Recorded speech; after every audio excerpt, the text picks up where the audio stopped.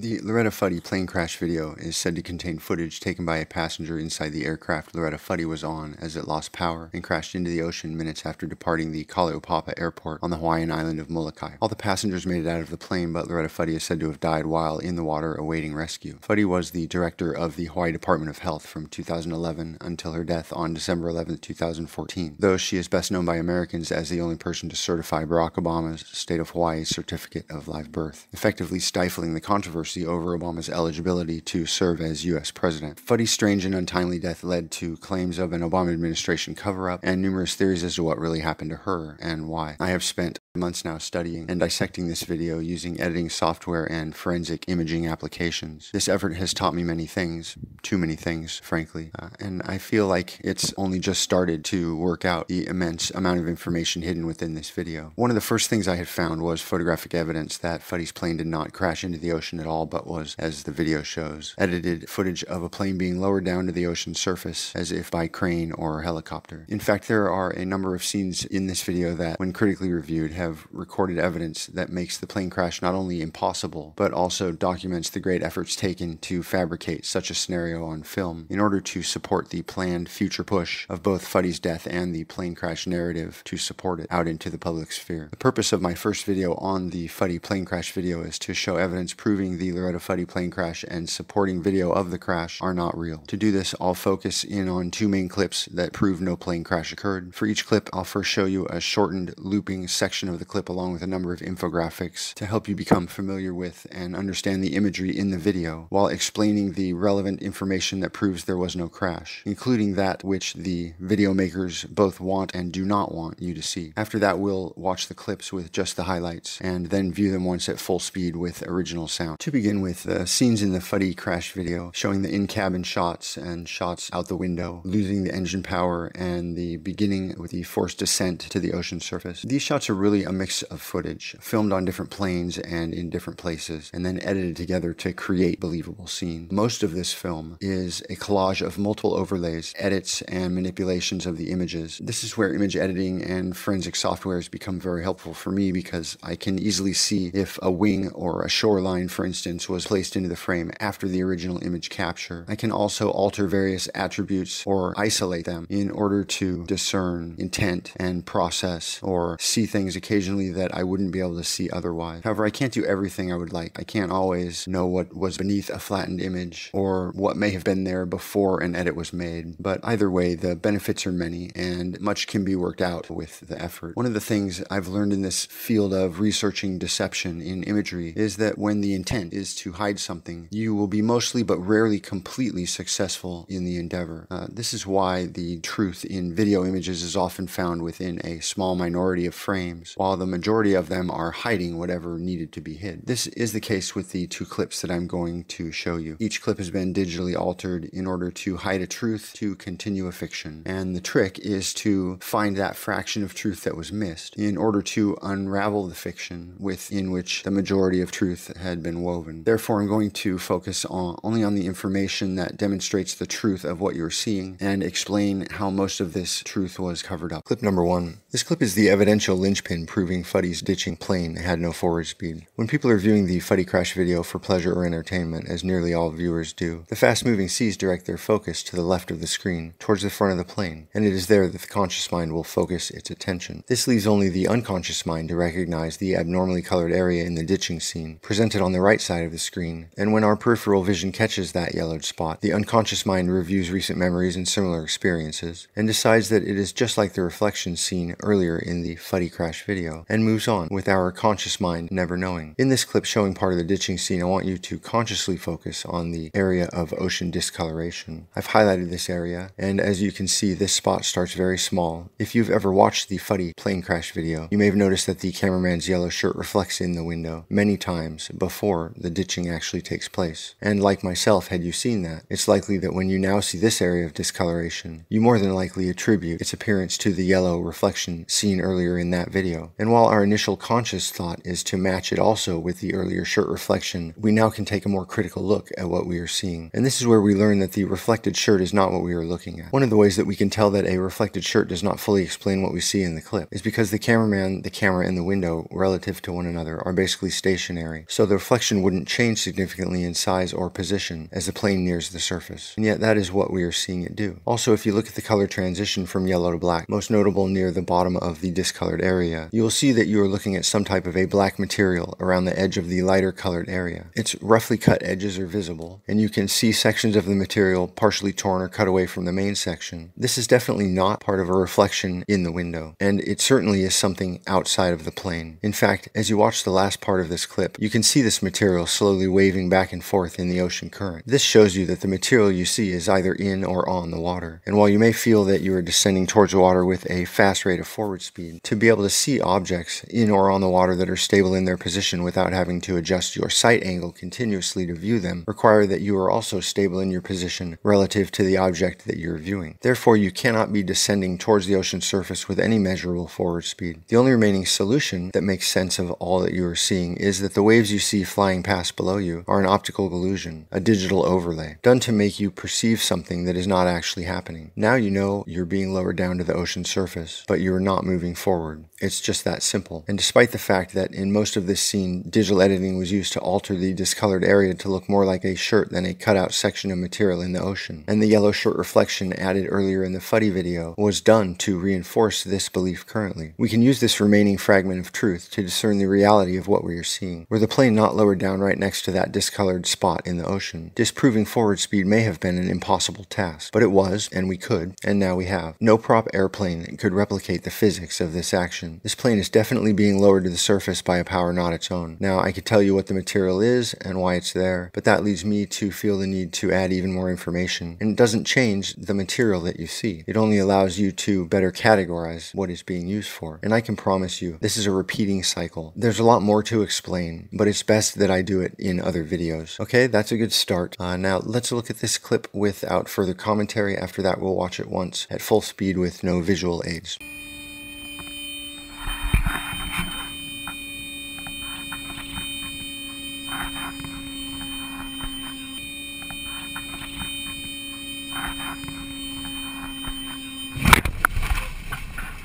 Okay, and last time with no highlights at full speed.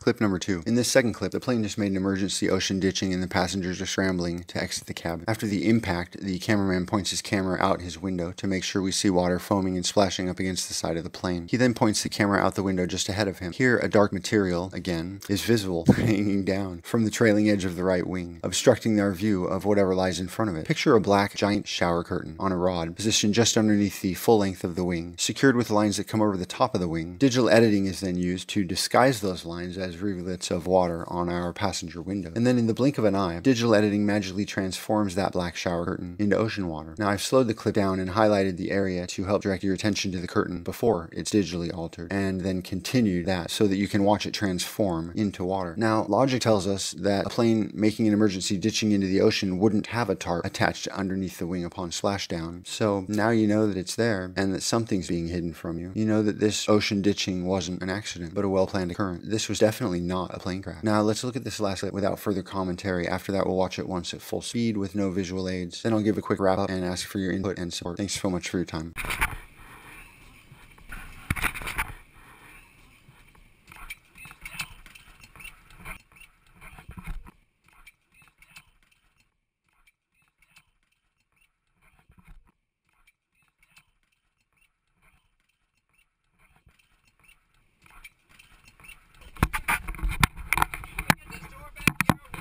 Okay, and last time with no highlights at full speed.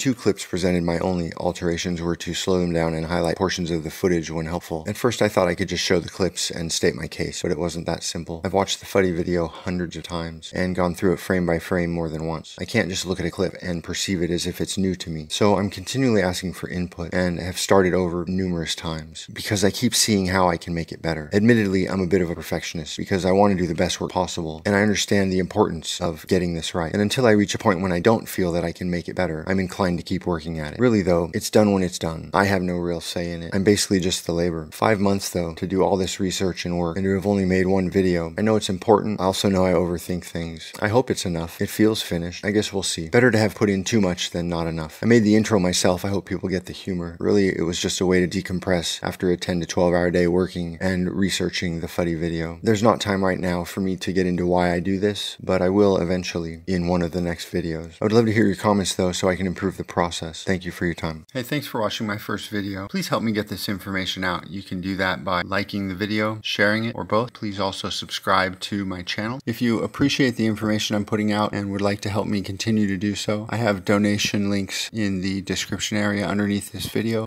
I've also added a link to download the Brave browser because it's fast, private, secure. They'll pay you to receive ads, and to do that, they utilize crypto and blockchain technology. I love it. You should try it. If you don't already have it, you can download it in the description. Thank you for your time. I'm going to get to work on the next video, and I will talk with you soon.